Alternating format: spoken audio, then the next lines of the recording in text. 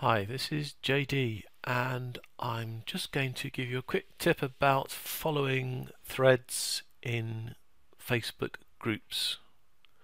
Now, Facebook groups works the same way as other groups um, and your pages.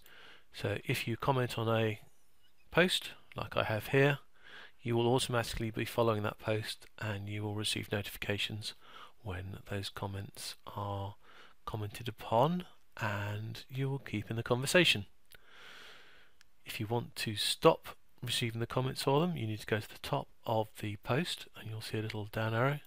You click on that and you click turn off notifications and you will stop receiving them. In the same way, uh, I have noticed a few people in some of the groups will hit the word, will see a topic being chatted about and will put in a comment follow to allow them to follow the conversation?